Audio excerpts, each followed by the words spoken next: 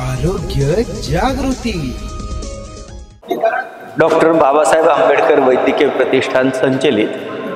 आत्ता Radha Kisan Damani R K Damani medical कॉलेजचा प्रारंभ आत्ता सुरू झालेला आहे. शासनाच्या सगळ्या परवानग्या आत्ता त्याच्यासाठी आवश्यक असलेल्या आमच्या संस्थेला मिळालेल्या आहेत. जेवढे काय अर्ज सगळ्या लोकांनी national medical commission N M सीकडे केले होते त्यापैकी पहिल्या फेरीमध्ये ज्या मोजक्याच निवडक कॉलेजला परवानगी मिळाली त्यामध्ये डॉक्टर बाबासाहेब आंबेडकर वैद्यकीय प्रतिष्ठान संचलित R K Damani medical college या संस्थेला परवानगी मिळालेली आहे. या सगळ्या विषयासाठी अनेक वर्षांपासून आम्ही प्रयत्न करत होतो पण सगळी जुळाजुळ विस्तोर दोन हजार चोवीसचं वर्ष उजाडलं आणि एम जी एममध्ये स्त्रीरोग तज्ज्ञ असलेल्या डॉक्टर स्वाती शिरडकर मॅडम आम्हाला डीन म्हणून लाभल्या.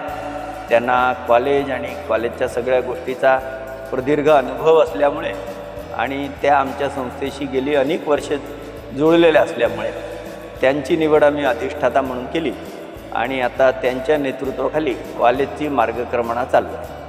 पूर्वीपासूनच गेल्या छत्तीस वर्षापासून आम्ही जे जे रुग्णालय चालवतो आहे त्याची धुरा आत्ता आमच्या paediatrician doctor Rajashree Ratnaparkhe madam सांभाळतात. त्या C O chief executive officer म्हणून काम करत आहेत. आणि N A B H quality या विषयाचं त्यांचं विशेष रुची पण आहे आणि योगदान पण आहे. त्याच्यामुळे आमचं जे लॅबॉरेटरी आहे ती एन ए बी एल ॲक्रिडेटेड आहे. हॉस्पिटल आहे N A B H accredited आहे. Blood बँकसुद्धा N A B H accredited आहे. किंवा आमची जी एथिकल कमिटी आहे तीसुद्धा N A B H accredited आहे. तर असं उत्तम गुणवत्तापूर्ण रुग्णालय चालवण्याचा तर अनुभव आमच्या गाठीशी होता. पण तेवढ्याच गुणवत्तापूर्ण महाविद्यालय चालवणं वैद्यकीय महाविद्यालय चालवणं. त्याच्यासाठी लागणारे आवश्यक ते सगळा टीचिंग स्टाफ त्यांच्यासाठी लागणारं सगळं इन्फ्रास्ट्रक्चर आणि चांगली रुग्णांची संख्या असल्याशिवाय त्या वैद्यकीय विद्यार्थ्याला चांगला अनुभव मिळणार नाही.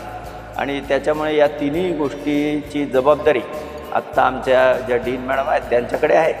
मला असं वाटते की त्या कॉलेज या संदर्भामध्ये आमच्या मॅडम काही बोलतील आणि रुग्णालय या बाबतीमध्ये डॉक्टर रत्नबारखे मॅडम काही सांगतील.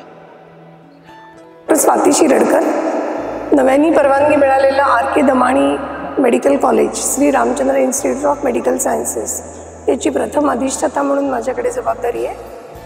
आणि नॅशनल मेडिकल काउन्सिलनी जे नवीन अतिशय चांगले बदल केलेले आहेत वैद्यकीय अभ्यासक्रमामध्ये ते बदल योग्य प्रकारे राबवण्याची मूलभूत सुविधा या रुग्णालयामध्ये आणि या संस्थेमध्ये आपण उपलब्ध करून दिलेली आहे.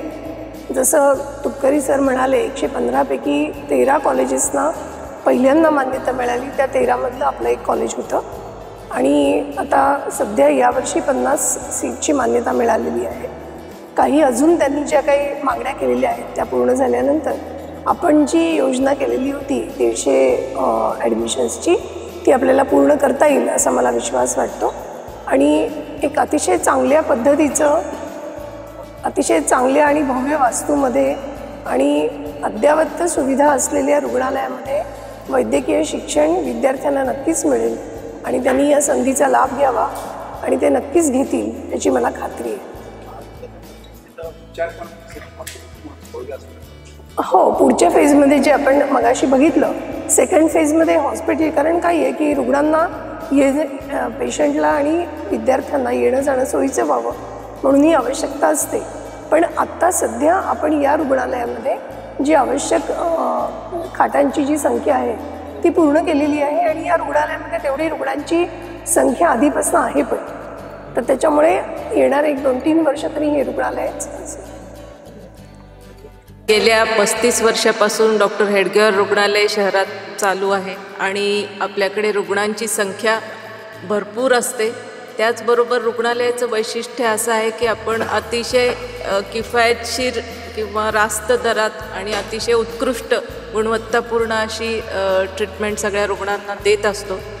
त्याचबरोबर आपल्याकडे नेहमी एक ट्रान्सपरन्सी किंवा पारदर्शकता आपण उपचाराच्या दरम्यान दरवेळेस ठेवत असतो. आणि दुसरं म्हणजे अतिशय प्रेमाने म्हणता येईल किंवा कंपॅशनेट अशी जी ट्रीटमेंट असते ती आपण रुग्णांना देतो आणि त्याच्यामुळेच इतक्या वर्षांपासून आपली रुग्णांची संख्या सातत्याने वाढत आहे. त्याचबरोबर आपले जे समाज समाजोपयोगी जे प्रोजेक्ट्स आहेत तर त्याचा पण रुग्णांना फायदा होतो आणि अशा प्रकारचं आपलं जे वेगळं मॉडेल आहे की जिथं सामाजिक काम आहे आणि रुग्णांची गुणवत्तापूर्ण ट्रीटमेंट पण आहे.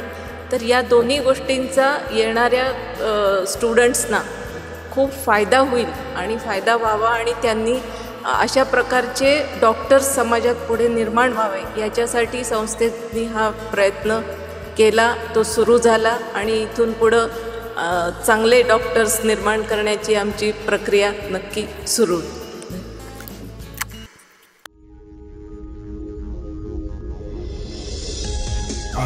होईल. जागृती